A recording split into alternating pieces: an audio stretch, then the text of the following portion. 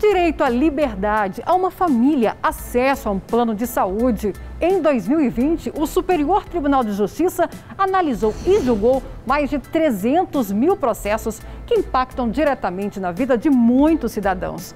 A partir de agora, a gente relembra um pouco, mês a mês, os principais julgados e acontecimentos no STJ neste ano. Numa das primeiras decisões de 2020, ainda em janeiro, o STJ garantiu a presença de cuidador dentro da sala de aula a aluno com paralisia cerebral. O ministro Og Fernandes reformou o acordo do Tribunal de Justiça de São Paulo, que admitia a permanência na escola do cuidador sem a obrigatoriedade de permanecer em sala. Já para o ministro do STJ, o profissional é quem deve decidir o melhor local para o desenvolvimento de suas atividades. Em fevereiro, uma decisão da terceira turma definiu que o plano de saúde coletivo não pode rescindir contrato de beneficiário que esteja em tratamento até a alta médica. O relator, ministro Marco Aurélio Belize, explicou que há entendimento do STJ que admite o cancelamento desse tipo de contrato por parte das operadoras sem motivo justificado, mas que a saúde e a vida do beneficiário se sobrepõem às cláusulas contratuais. Março de 2020 jamais será esquecido. No mês em que o mundo parou por conta da pandemia do novo coronavírus, o STJ precisou adotar medidas de segurança para evitar a contaminação da doença. As sessões de julgamento presenciais foram suspensas no dia 16 de março. Os prazos processuais não foram interrompidos. Já o atendimento ao público passou a ser feito por telefone. Com o aumento de casos de Covid-19 no Brasil e a necessidade de isolamento social, o STJ decidiu que os presos com liberdade condicionada à fiança deveriam ser soltos em todo o país. A liminar foi concedida inicialmente para detentos do Espírito Santo, mas depois dessa decisão, defensorias públicas de vários estados entraram com um pedido de extensão dos efeitos. O ministro Sebastião Rei Júnior, relator do caso, disse que o quadro de precariedade do sistema carcerário é semelhante em todo o país e apresenta riscos graves de disseminação da doença no interior dos presídios. Diante de uma crise financeira e da quantidade de trabalhadores informais sem renda, o governo lançou um auxílio emergencial, que foi alvo de julgamento aqui no STJ. Isso porque o CPF regular é um dos requisitos exigidos para os beneficiários e está previsto no decreto que regulamentou o auxílio emergencial. Mas uma liminar do Tribunal Regional Federal da Primeira Região havia suspendido essa exigência. A Advocacia Geral da União recorreu ao STJ, argumentando que a regularidade do CPF é uma forma de se evitar fraudes. Ao analisar o caso, o então presidente do STJ, ministro João Otávio de Noronha, entendeu que a mudança nos critérios para receber o benefício poderia atrasar o processamento de milhões de solicitações e trazer prejuízos graves à economia e à população. Por isso, suspendeu os efeitos da liminar do TRF1.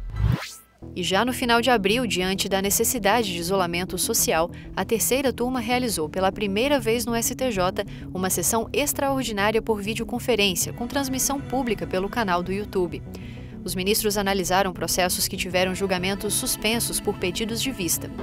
Em maio, após a confirmação do aumento de registro de casos de violência doméstica contra a mulher durante a pandemia, um grupo criado pelo Conselho Nacional de Justiça começou um trabalho para encontrar alternativas de facilitar a comunicação da denúncia e melhorar o amparo à mulher vítima de violência.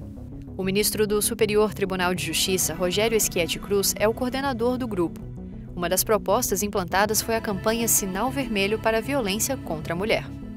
No mês de junho, um processo em julgamento no STJ mostrou que a mediação pode ser uma alternativa, mesmo quando o caso chega à instância superior. O desafio era um acordo entre um ex-casal separado desde 2011 e que envolvia questões relacionadas a transferências de cotas empresariais, indenização, pagamento de dividendos e partilha de bens. O processo de negociação supervisionado pelo STJ ocorreu durante cerca de um ano e, no final, as partes chegaram a um acordo. O resultado foi o encerramento de pelo menos 15 ações civis e de família em diferentes instâncias judiciais, incluindo o recurso especial no STJ.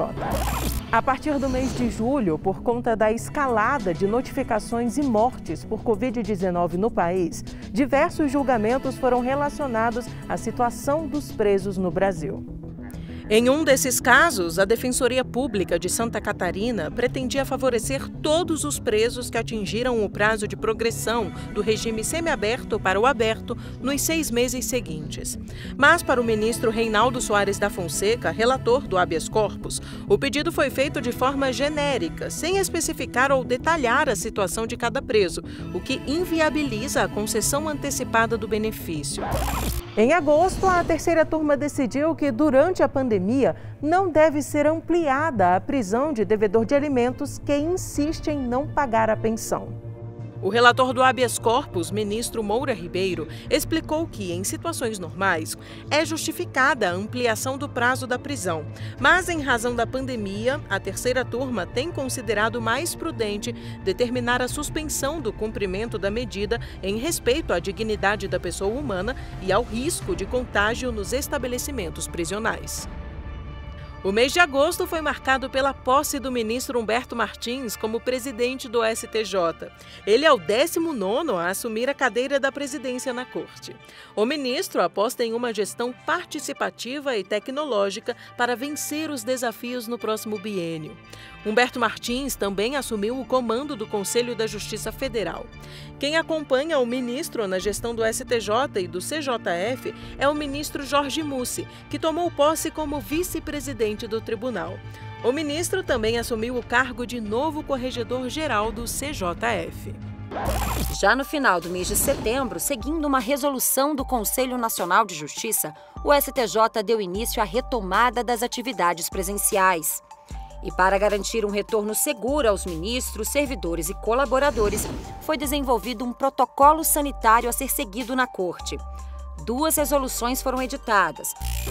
Em outubro, uma decisão do STJ trouxe alívio e esperança à família de uma criança com doença rara. Em decisão liminar, o ministro Napoleão Nunes Maia Filho determinou o depósito pelo Ministério da Saúde de cerca de 6 milhões e 700 mil reais para complementar a compra de um remédio milionário para tratamento da menina, que possui atrofia muscular espinhal ou AME, uma doença rara, progressiva e potencialmente fatal.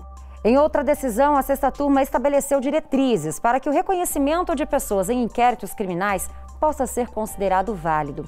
Isso porque, no caso em julgamento, o acusado de participação em assalto foi condenado em primeira e segunda instâncias apenas com base na declaração de vítimas, que dizem tê-lo identificado em uma foto apresentada pela polícia.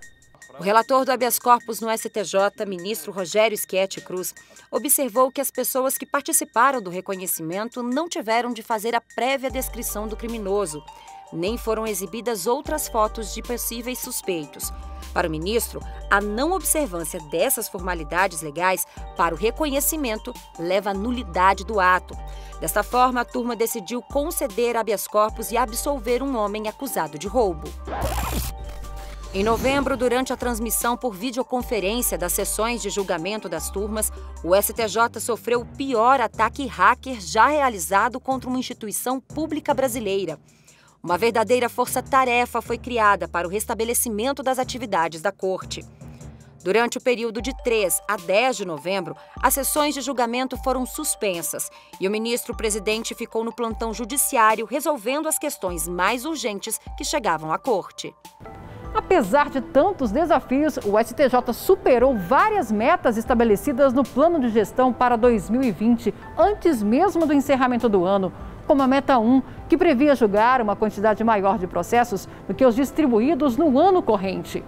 O cidadão brasileiro pode contar com o esforço e com a participação incondicional do Tribunal da Cidadania para a entrega de uma prestação jurisdicional célere, efetiva e justa, que atenda aos anseios dos jurisdicionados e da sociedade. O STJ está alerta, vigilante e atuante, respondendo com brevidade todos os questionamentos dos jurisdicionados e da sociedade brasileira. Justiça de qualidade, efetiva, rápida e justa torna-se, assim, garantia do Estado democrático de direito. De mãos dadas, magistratura e cidadania.